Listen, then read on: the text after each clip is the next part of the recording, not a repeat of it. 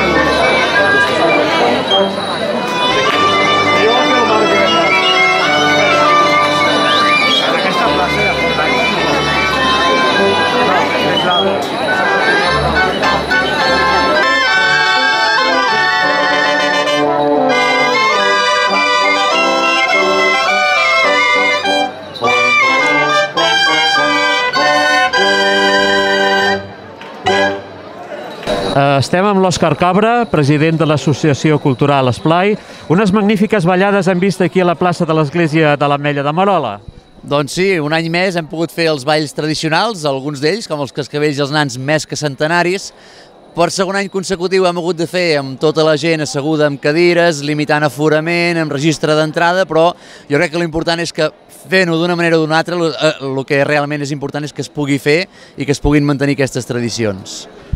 Efectivament, unes tradicions que aquí a l'Ametlla són centenàries i que veiem eh, molts joves eh, apuntant-s'hi i que això promet que s'anirà renovant. Sí, jo crec que l'essència d'aquí a l'Ametlla, que jo em trobo a vegades molta gent que havien viscut aquí o que havien nascut aquí, oh, és que vosaltres com ho feu això per mantenir-ho? Jo crec que és, és això que dius tu, no? que la gent jove s'hi va implicant perquè veu que els seus pares o els seus avis hi estan implicats i és un, un sentiment que es transmet de generació en generació i jo estic molt content que hi ha molta gent jove implicada tant amb les tradicions de la festa major com dels pastorets, com en general de totes les tradicions i de les festes que tenim aquí a l'Ametlla i podem estar segurs que això perdurarà amb el temps molts i molts anys. I a més a més, una tradició que sempre va lligada amb la música. Uh, aquí hem vist els cascabells, el, els nans i la sardana.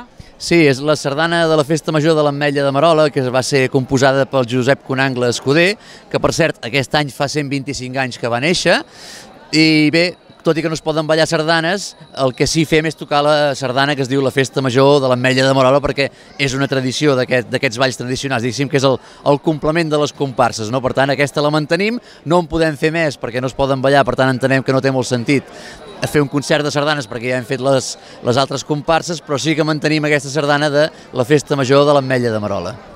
Molt bé, doncs moltes gràcies i bona festa major a l'Ametlla. Moltes gràcies a vosaltres per venir, per ser-hi i moltes gràcies a tots els espectadors i us convidem a venir a Festa Major encara. Bé, doncs hem tingut la, la sort la casualitat de trobar un ametllà il·lustre que és l'Arcadi Alibés. Arcadi, les arrels ametllanes no es perden, oi? No, no, i ara, això no es perd mai i a més a més ara que tinc la meva filla doncs, que també balla els cascavells, doncs eh, encara amb més motiu cada any doncs, eh, hem de ser aquí a la Festa Major. Molts anys de vincle amb l'Ametlla t'uneixen. Sí, bé, jo, quan, jo suposo que devia tenir 6 anys o 7 quan vaig començar a fer de cascavell i després doncs, vaig seguir doncs, tota la, com tothom, no? Eh, quan ets ja aquest més grandet, vaig fer de nano, vaig, fer, vaig portar el rei i el barber i després doncs, bé, eh, no, en aquell moment no hauria pensat mai que molts anys més tard doncs, tornaria aquí a veure ballar la meva filla els cascavells. No? I, i a més a més allò que veus que que continua la tradició, allò que sempre es diu de pares a fills, doncs eh, en aquest cas és, és claríssim, no? I bé, doncs, eh, mentre, mentre la nena vagi ballant, doncs anirem venint, i si no també, perquè, com dèieu al principi, les arrels no es perden mai. Molt bé, doncs moltes gràcies, Arcadi. A vosaltres. Thank you.